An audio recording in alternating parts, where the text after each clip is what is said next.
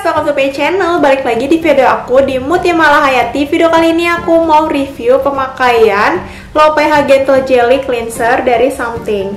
Jadi ini dia produknya. Aku udah pakai selama sebulan lebih. Jadi awalnya ini suami aku yang beli, dia yang coba tapi ternyata dia tuh nggak cocok sama si low pH gentle jelly cleanser ini. Jadi aku yang pakai biasanya kalau suami aku nggak cocok karena sayang sama produknya jadi aku yang pakein aja. Ternyata aku cocok sama si low pH gentle jelly cleanser ini. Kalau suami aku kan kulitnya tuh super duper sensitif jadi dia emang harus cari produk yang setelah cuci muka itu nggak ketarik. Sebenarnya ini tuh nggak menarik kulit muka ya cuman saat setelah pemakaian tuh masih apa ya kalau suami aku tuh jadi gampang untuk breakout di daerah sini nih karena kan dia tuh ada kayak jenggotnya gitu ya. Jadi kalau pas saat setelah dicukur itu tuh kayak em, jerawat bukan jerawat ya beruntusan. Lebih tepatnya tuh beruntusan tuh kayak gampang banget keluar karena tuh sensitif ya kulitnya.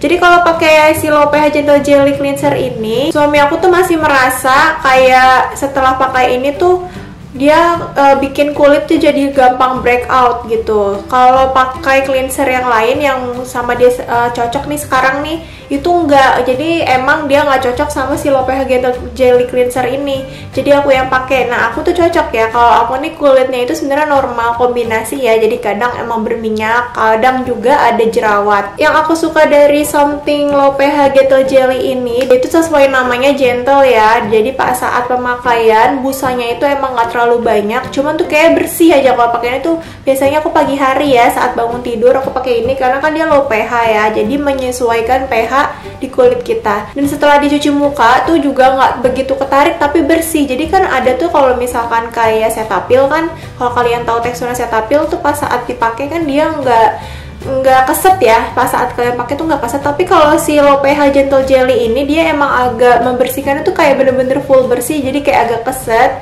tapi nggak keset banget yang sampai ketarik itu nggak. Dan keluarnya juga dia tetap lembut kayak jaga kelembapannya gitu. Tapi balik lagi di kulit masing-masing ya ada yang cocok ada yang enggak jadi kayak aku nih cocok sama si something low pH gentle jelly ini cuman kalau sama suami aku yang kulitnya super duper sensitif dia nggak cocok sama si low pH gentle jelly ini. Untuk wanginya tuh dia wangi kayak wangi tea tree tapi nggak yang lebay banget. Dia hampir sama kayak wanginya Core RX yang low pH Good Morning low pH cleanser. Itu wanginya dia hampir sama ya. Cuman dia nggak begitu tajam dan ini emang gel tuh. Dan dia lembut banget sih kalau menurut aku. Wanginya juga lembut ya nggak yang begitu lebay nggak. Wanginya lembut banget. Wangi tea tree-nya tuh kayak masih kal kalem gitu. Dan busanya juga sebenarnya nggak terlalu banyak dan pas saat uh, menurut aku sih ini lebih maksimal mengangkat mengangkat minyak-minyak di wajah ya kalau menurut aku ya karena dia emang bersih banget sih rasanya dan fresh gitu jadi makanya aku senang banget ini pakai pakai si something cleanser gel ini yang low pH ini aku pakai pagi-pagi sih biasanya aku pakai. Jadi ini aku udah cuci tadi yang aku coba di tangan dan emang ini tuh agak keset ya, tapi kesetnya tuh bukan keset yang mengangkat semua minyak di kulit. Jadi emang yang kes, e, bersih keset tapi bukan keset ya. Apa ya? Iya emang kayak kayak bersih aja cuman dia nggak begitu nggak nggak begitu lembab tapi dia menjaga tetap menjaga kelembapan ya gimana ya? Jadi kan kalau kayak kalian pakai Cetaphil tuh kayak benar masih licin ya kalau kalian cuci tuh kayak masih licin kayak nggak bersih bersih gitu busanya. Nah kalau ini tuh kayak emang bersih kayak udah hilang gitu bus busanya tapi tetap ngelembapin dan nggak bikin ketarik. Tapi di beberapa orang sih ya di beberapa orang kalau aku baca review-review yang lainnya itu ada beberapa yang merasakan masih ada sensasi ketariknya. Mungkin emang di uh, reaksinya di setiap di setiap orang beda-beda ya guys. Jadi nggak sama satu sama lain. Jadi bisa aja kayak suami aku aja nih dia nggak dia nggak cocok sensitif kulitnya.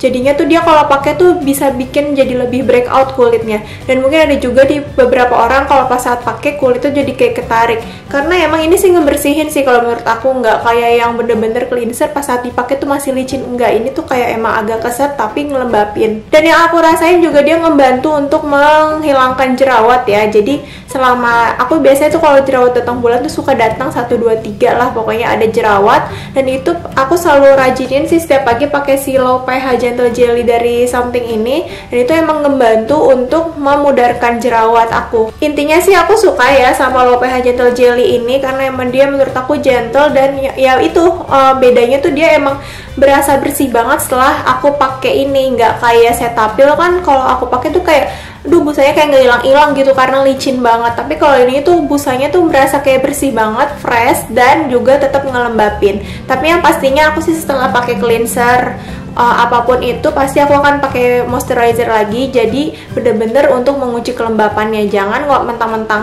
cleansernya itu lembab jadi kalian nggak pakai nggak pakai moisturizer apa pun lagi. Jadi itu nggak nggak ya guys. Jangan kayak gitu ya karena itu salah ya. Dan untuk harganya juga dia nggak terlalu mahal ya menurut aku. Dan ini tuh uh, 100 ml kalau menurut aku 100 ml ini dipakai dikit aja juga udah cukup ya. Pakai setetes segini nih. Segini cuci muka. Pas aku cuci muka ya pakai segini aja juga udah cukup. Dan itu udah cukup sebulan lebih sih kalau menurut aku.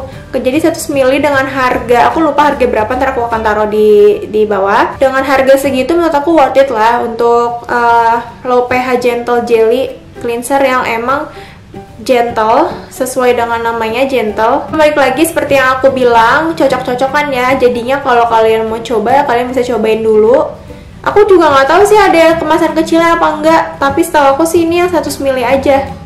Jadi kalau kalian mau coba kalian bisa coba dulu ya karena emang di setiap orang itu beda-beda sih ininya reaksinya. Nggak semua yang gentle nggak semua yang herbal nggak semua yang alami itu bisa cocok di semua orang. Jadi emang intinya kita harus coba sendiri sih. Dari segitu dulu video dari aku. Kalau kalian suka sama video ini jangan lupa di like kalau kalian ada pertanyaan jangan lupa di kolom komentar. Dan jangan lupa juga di subscribe dan aktifkan bell biar kalian gak ketinggalan videoku selanjutnya. See you my next video. Bye